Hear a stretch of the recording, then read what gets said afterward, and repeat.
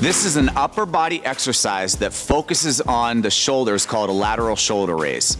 To perform this exercise, you will only need resistance bands. Begin by facing the side of the endless pool with the current flowing towards the side of your body. Feet are in a lunge position, knees are slightly bent, and the chest is lifted, creating a nice long spine. Hold the resistance band in front of your body completely submerged. Start the exercise by pulling the resistance band away from the body until it reaches just above the surface and then return back to starting position.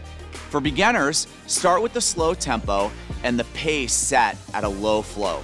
The faster you go and the higher the flow from the swim current, the greater the demand on the working muscles. Perform this exercise one side at a time for 30 seconds and recover for 15 to 20 seconds or longer if needed.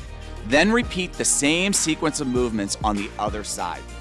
Perform a total of three to four rounds for optimal results.